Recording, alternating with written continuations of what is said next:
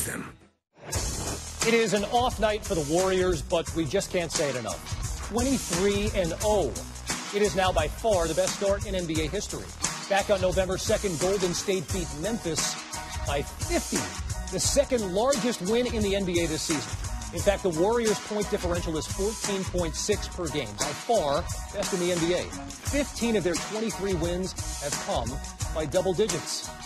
But enough of those feel good numbers. Who the heck wants to hear about a, a sunny disposition when it's dark and it's cold and it's gloomy and hopeless like it is in Philly? Best start in NBA history, yeah. With a loss tonight, Philly would match the worst start in NBA history through 23 games. That largest win this season, baloney. Last time out, the Sixers lost by 51, the worst loss of the season. And double digit wins, how about double digit defeats? Philly's almost into double digits in that category. Nine of them entering play tonight. Whoever said it's always sunny in Philadelphia has never seen these Sixers.